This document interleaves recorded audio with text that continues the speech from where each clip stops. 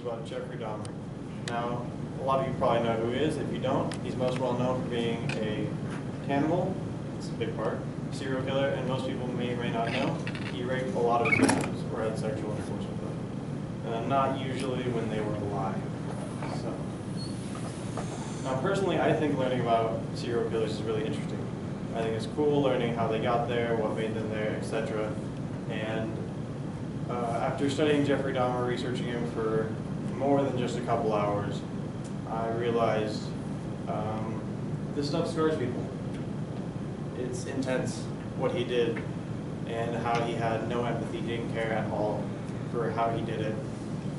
And just like that, killed 17 people. Now, after that good pep talk, I might not have been ready, but I hope you are for the roller coaster ride that is Jeffrey Dahmer's life. Starting off with his parents, Joyce and Lionel Dahmer, uh, they had a pretty crappy marriage, to be honest, and that'll be important later for when he leaves high school.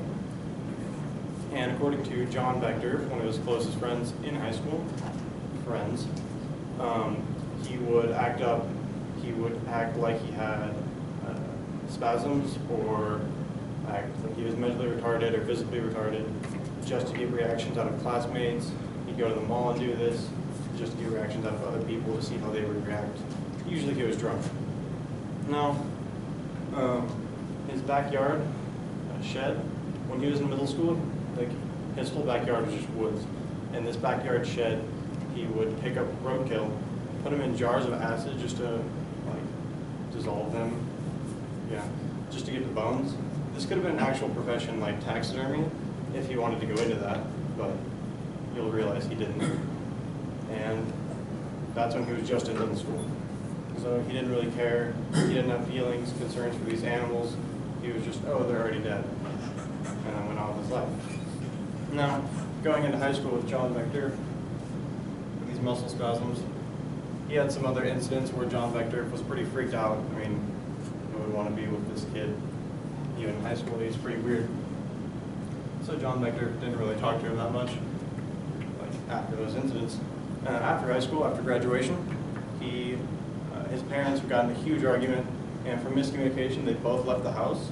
His mom took his little brother and moved to a different town, and his dad just moved across town into a motel, and he was on his own in his house. And for about four months, he didn't do much. After the first two, he picked up a hitchhiker, Steven Hicks, and Steven Hicks was just crossing country, doing whatever, being a free spirit, and Steven Hicks was never seen again. Jeffrey Dahmer strangled him and then dismembered his body, put him in trash bags, and disposed of him. That was his first victim right after high school. And then uh, after that, his dad moved back in the house because he realized, hey, mom's gone, might as well come back, no more fighting. And Jeffrey decided to join the army. He went to Germany for two years, and they pretty much sent him back home saying, you're drunk all the time, you don't do anything, go away. They just sent him back.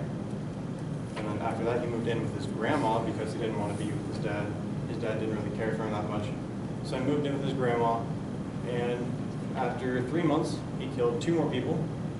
And one of, the, one of them, he started dissolving their flesh in her basement. And uh, his dad and his grandma didn't realize this. They just, there was this horrid smell. And his grandma was like, you need to get out. I don't know what it is you're doing, but I don't like it. So his grandma kicked him out. Now, there were multiple chances that he could have been stopped. Different people could have stopped him, but they were just lazy. Steven Hicks, he put the body, his Steven Hicks's body parts into trash bags, and at three in the morning, he was taking them to get rid of them. A cop stopped him and said, "These smell terrible. What are you doing at three in the morning?" And he just said, "Oh, I was up anyway, and we needed to get rid of him. The cop didn't look into it at all. Next one, James. He um, was in the grandma, his grandma's basement. That was the kid. He skinned him and started dissolving the flesh. And um, there was that horrible smell. His grandma told his dad to go down there and find out what he was doing. His dad went down there, asked him about it. Jeffrey Dahmer just said, "Oh, I was just um, like testing stuff on animals because his dad knew he did that when he was little and thought he was like going into that profession." His dad was like, oh, whatever, that's cool. Didn't care at all. Next one, Keison, no idea how to say his last name. Um, he moved into his, Jeffrey Dahmer moved into his own apartment, and he came out that he was openly gay, and he started, this kid was 13 years old. He sexually assaulted this kid and then tried to beat him in the head with a hammer, but the kid got away, went to the cops, and the cops came back. He went, he actually got arrested for this. He went to jail, sen- sentenced five years. He got out of jail after 10 months because of good behavior. Three times have been stopped so far. And then there was another one, some random kid that he sexually assaulted, and the kid went to the cops, and he told them the entire story, and the cops were like, what do you want us to do? And the kid said, I don't want you to tell my parents that I'm gay. And the cops were like, okay, we'll look into it. Cops didn't do anything. They didn't care at all. The last one, Tracy Edwards. Tracy Edwards, uh, he was in his 20s, and Jeffrey Dahmer drugged him and tried to kill him, but he got away, got to the cops, and this is the time he was actually caught and put in jail. So he was arrested for this. He was sentenced to 957 years in prison, 15 life sentences, and when he was in prison, everyone hated him. Every single person there did not want to be around him. They were afraid of him, didn't like being around him at all. Um, according to uh, Murderpedia, a website based solely on murderers, uh, he, oh, according to the New York Post, they did an interview on uh, Christopher Scarver. Christopher Scarver was the guy who killed him. Christopher Scarver said when he was eating, he would shape his, he wouldn't eat that much, but he would shape his food into like severed body parts and pour ketchup on it just to piss off other inmates. So everyone pretty much him, guards, inmates, didn't matter.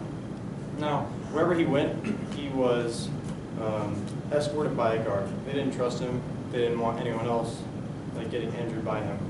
So he was al- always followed by a guard for two years until the day he died, which was Christopher Scarver and him were told to go clean the bathroom, and the guard happened to walk away for 20 minutes, and there happened to be a metal bat laying on the ground.